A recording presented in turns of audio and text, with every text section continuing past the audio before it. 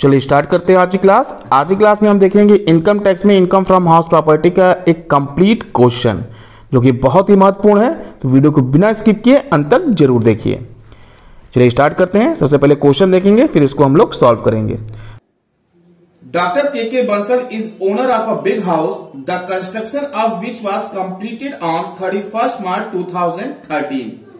One half of the house is rented for residential purpose at rupees three thousand per month one fourth of the house is use by doctor Bansal for his profession and remaining one fourth is use for his own residence मतलब यहाँ पे एक मकान है और एक मकान के आधे भाग को इन्होंने किराए पे दिया है, तीन हज़ार रुपया महीने पे। और जो आधा बचा है, उसका आधा मतलब वन फोर्थ वो अपने प्रोफेशन के लिए यूज़ कर रहे हैं। मतलब ये डॉक्टर हैं तो अपना क्लिनिक वगैरह उसमें खोले होंगे। और जो बचा वन फोर्थ पोर्शन मतलब आधा का आधा जो बचा, उसमें ये सेल्फ ऑक्युपाइड मतलब खुद ये रह रहे हैं। तो देखा जाए तो यहाँ पे जो वैल्यूएशन करना है हमको, केवल हाफ़ पोर्शन जो किराए पे दिया गया है वो, और जो रिमेनिंग बच रहा है मतलब एक चौथाई भाग जिसमें ये खुद रह रहे हैं वो, क्योंकि यहाँ पे जो प्रोफेशन के लिए यूज़ कर रहे हैं, उससे यहाँ पे कोई मतलब नहीं है।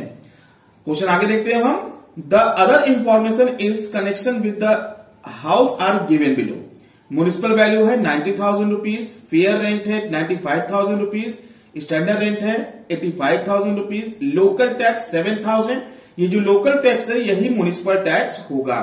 Repair charges five thousand rupees interest on loan acquired for repair and renewal दस हज़ार रुपए। अब यहाँ पे देखिए कंस्ट्रक्शन पीरियड टू पर दिया गया मतलब कंस्ट्रक्शन कब कंप्लीट हुआ ये दिया है, लेकिन लोन का अमाउंट न देकर क्या डायरेक्ट इंटरेस्ट दिया गया है। तो ये दस हज़ार जो इंटरेस्ट है, ये पूरे मकान के लिए होगा।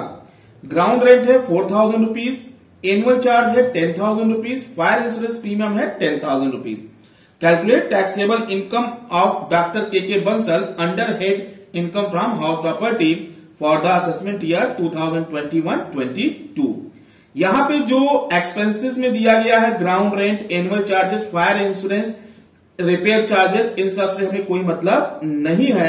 यहाँ पे सिर्फ़ इंटरेस्ट ऑन लोन और जो लोकल टैक्स है, यानी म्यूनिसिपल टैक्स इसी से मतलब है। अब चलिए इस क्वेश्चन को एक शॉर्ट व्यू में समझते हैं, उसके बाद उसको सॉल्व किया जाएगा।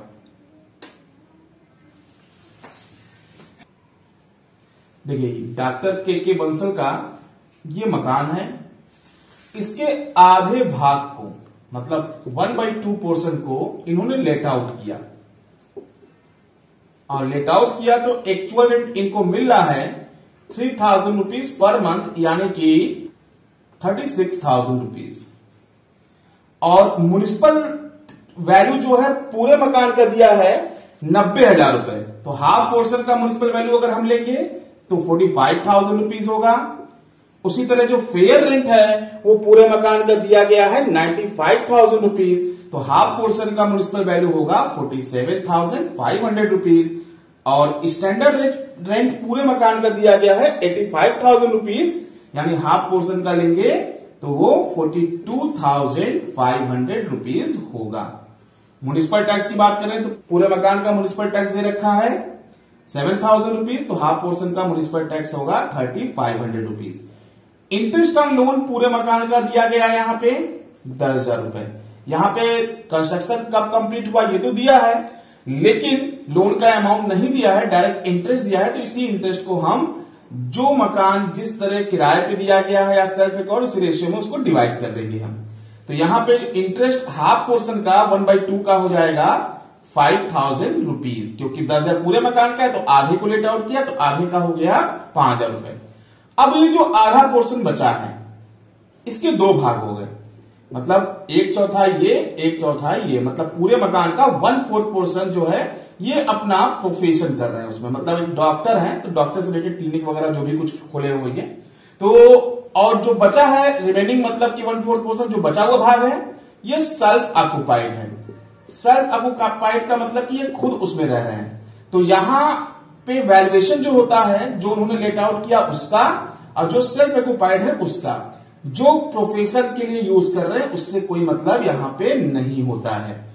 तो सेल्फ ऑक्युपाइड में जीएवी से कोई मतलब होता नहीं है, क्योंकि वहाँ पे जो ग्रॉस एनुअल वैल्यू होता है, वो होता है निल यहाँ पे सिर्फ़ मतलब होता है इंटरेस्ट ऑन लोन से.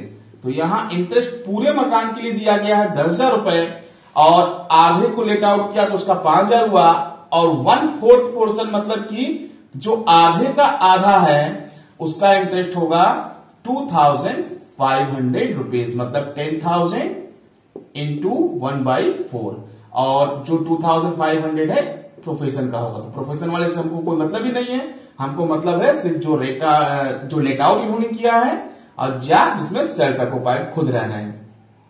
तो यहाँ पे क्लियर कट है कि जो लेट आउट इन्होंने किया है, चार किराया लिया है। Actual rent municipal value fair rent standard rent इसी चारों में से कोई एक जीएवी होगा मतलब ग्रॉस एनुअल वैल्यू होगा, उसमें से हम म्यूनिसिपल टैक्स को माइनस करेंगे, फिर डिडक्शन देंगे, जिसमें एक स्टैंडर्ड डिडक्शन होता है, जो thirty percent of annual value होता है, और दूसरा इंटरेस्ट का होता है। तो सारी चीज़ें आपके सामने हैं, अब इसमें से हम ग्रॉस एनुअल वैल्यू निकालेंगे। देखिए, अगर actual rent municipal value fair rent standard rent इन चारों में एक्चुअल रेंट सबसे ज़्यादा होता तो ग्रॉस एनुअल वैल्यू होता। बट यहाँ पे एक्चुअल ज़्यादा नहीं है। तब ऐसी कंडीशन में हम actual rent municipal value fair rent में जो अधिक होगा ले लेंगे। तो लिया हमने सैतालीस हज़ार पाँच सौ।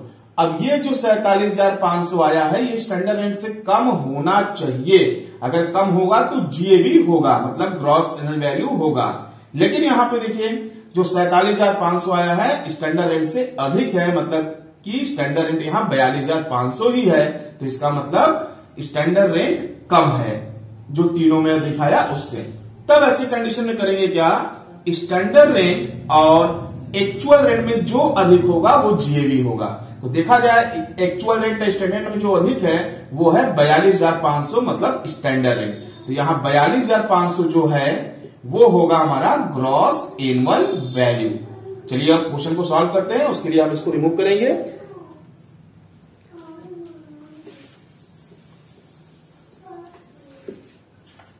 हम लिख लेते हैं ऊपर computation of income from house property of K K Bansal for the assessment year 2021-22 सबसे पहले हाफ़ पोर्शन लेते हैं, जो कि इन्होंने लेट आउट किया है। लेट आउट जिसका जीएबी अभी हम लोगों ने फाइंड किया बयालीस हज़ार पाँच सौ रुपए लेस म्यूनिसिपल टैक्स मतलब जो क्वेश्चन में लोकल टैक्स था वही म्यूनिसिपल टैक्स है तो वो यहाँ पे सात हज़ार पूरे मकान का दिया था तो हम आधा ही लेंगे। यानी पैंतीस सौ आएगा three thousand five hundred rupees अब बयालीस हज़ार पाँच सौ में से हम तीन हज़ार पाँच सौ घटा देंगे तो आएगा उनतालीस हज़ार रुपए। ये हमारा हो गया नेट एनुअल वैल्यू या एनुअल वैल्यू अब इसी में से हम डिडक्शन देंगे। अंडर सेक्शन 24 में जिसमें पहला है डिडक्शन अंडर सेक्शन 24 ए, जो होता है 30 percent of N A V मतलब नेट एनुअल वैल्यू तो यहाँ पे नेट एनुअल वैल्यू उनतालीस हज़ार है तो उनतालीस हज़ार का हम 30 परसेंट कैलकुलेट करेंगे तो आएगा ग्यारह हज़ार सात सौ रुपए। दूसरा डिडक्शन है इंटरेस्ट ऑन लोन का, जो कि पूरे मकान के लिए दिया था दस हज़ार तो आधे का होगा पाँच हज़ार। यानी ग्यारह हज़ार सात सौ अब पाँच हज़ार, यानी सोलह हज़ार सात सौ रुपए हम नेट एनुअल वैल्यू में से कर देंगे माइनस तो हमारा आएगा बाईस हज़ार तीन सौ रुपए। ये होगा हमारा taxable income from house property A A इसलिए नाम दे रहे हैं क्योंकि दो इनकम एक लॉस आएगा। तो उससे हम एडजस्ट करेंगे, उसको बी दे देंगे तो ए माइनस बी लिख सकते हैं लास्ट में। थोड़ा देखने में भी अच्छा लगेगा सॉल्व करने में भी ठीक रहेगा। देखिए, अब वन फोर्थ पोर्सन का करेंगे जो इन्होंने सेल्फ ऑक्युपाइड रखा है मतलब जिसमें ये खुद रह रहे हैं। तो सेल्फ ऑक्युपाइड का जब वैल्यूशन करेंगे तो वहाँ पे जो जीएबी होता है, वो होता है निल उसमें से सिर्फ़ माइनस होता है इंटरेस्ट ऑन लोन जो कि दस हज़ार पूरे मकान का दिया गया था। तो यहाँ पे जो सेल्फ ऑक्युपाइड है वन बाई फोर्थ ही है, यानी दो हज़ार पाँच सौ रुपए। तो दो हज़ार पाँच सौ जो होगा, ये हमारा आएगा लॉस फ्रॉम हाउस प्रॉपर्टी इसको नाम लेते हैं बी देखिए ए से हमारा प्रॉफिट है मतलब इनकम है अब बी से हमारा लॉस है। तो देखा जाए तो जो इनकम है, ज़्यादा है लॉस कम है तो हमारा इनकम में से लॉस को घटा देंगे तो हमारा आएगा total income from house property A minus B अब बाईस हज़ार तीन सौ में से हम दो हज़ार पाँच सौ घटा देंगे तो आएगा उन्नीस हज़ार आठ सौ रुपए। यही हमारा फाइनल आंसर होगा। अभी के लिए बस इतना ही। मिलते हैं नेक्स्ट वीडियो में। वीडियो पसंद आया हो तो इसको लाइक कीजिए और ज़्यादा ज़्यादा शेयर कीजिए ताकि हर एक बच्चे तक पहुँच सके। अगर आपने अभी तक हमारे चैनल को सब्सक्राइब नहीं किया है तो सब्सक्राइब कीजिए, साथ में बेल आइकन को ज़रूर दबाइए, ताकि लेटेस्ट अपडेट आपको मिलता रहे। धन्यवाद, आपका समय सुबह